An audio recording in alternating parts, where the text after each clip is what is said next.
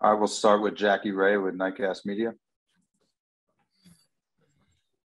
Hey, Nneka, um, this is a this was a pretty hard fought game and it was very physical on both sides of the ball. Um, is there anything that you got the conversation you guys might have with each other when it gets very physical like that, especially down the stretch? I mean, I think we have like a mutual understanding as a team, you know, that we're not going to back down.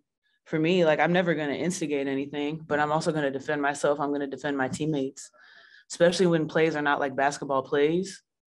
You know, I'm not just going to sit around and let that happen. But I like a physical game. I like it when teams get get um tooth and nail like that.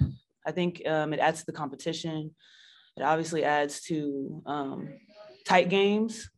Um, but you know, most times, most times it's going to be the team that that makes the first punch that comes out on top. So we have to make sure that we come out as aggressively as we can and maintain that for 40 minutes.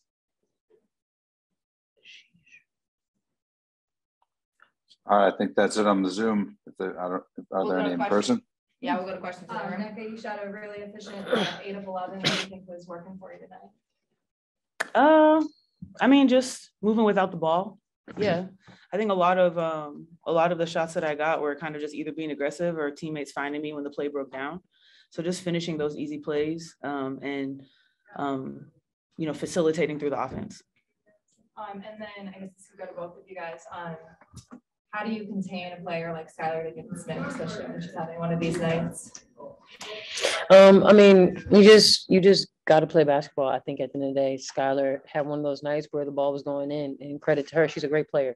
You know, great players are going to make great plays. She's a part of that big three. She's part of you know that organization where she's going to shoot the ball. So we just have to do a better job of defending the ball and making it hard for her. She she didn't get too many easy shots, but you know the ones we made hard for her, she made them. So it was one of those nights where it's good defense, better offense. You know what I mean? So we just have to look to keep uh, defending players like that and not making it so easy for them. Yeah, and what do you guys take um, positives from this game, or what do you want to improve specifically going into the next game? Well, I mean, I feel like what this was uh, our 12th game. Yep. And out of 12, 10 of them have been one point, like one possession games. Yeah. So, I mean, we're clearly used to playing close games. We just have to understand how to break away when we have a lead, how to manage runs, how to start the game off strong, um, and continue to just build off of that. Great, thank you. Thank you. guys. you.